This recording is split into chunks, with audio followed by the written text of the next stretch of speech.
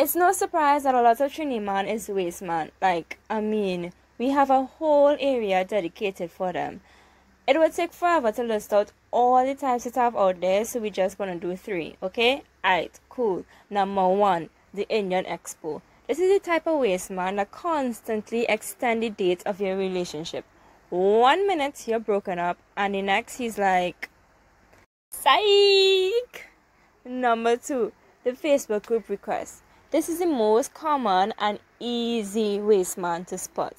All you have to do is state what you're doing at the moment and. Can I join? yeah, this nigga has been your top fan so many times you might as well name him Lasco. And it doesn't even matter what you're doing, the time of the day, or where you at, because he's gonna magically fall into your DMs and bippity boppity boo, you pregnant.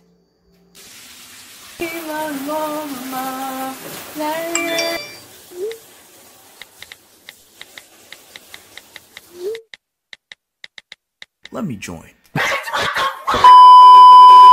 And last but not least, guys, we got the Shaggy. Now, this guy, he never takes responsibility for his actions. No matter the situation, he manages to get away with whatever he's doing and make it seem like you crazy and you seeing wrong. He plays the victim role so well that he is literally the star of the show. Hey, babe, say hello now. I hear you was in quarrel with some girl. Oh, take my name out of that. I did not sanction that. So what you telling me is, you wasn't in quarrel yesterday? I just decided, let, let me go. Nobody sent me to Korea. But I was just thinking, I said, let me just see exactly what's happening and let me know, you know, let me go find out. Find out what? Listen me, what exactly you gonna charge me for? Let me hear. Tell me why I have a video with you kissing some girl. Where lying for? Where line? For. Look, look, look. What's this? Eh, tell me, what's this? Yeah, what is this?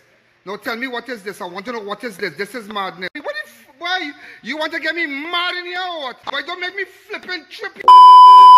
But guys, with every waste man, there will always be a waste woman, like the girl who has three guys all at once.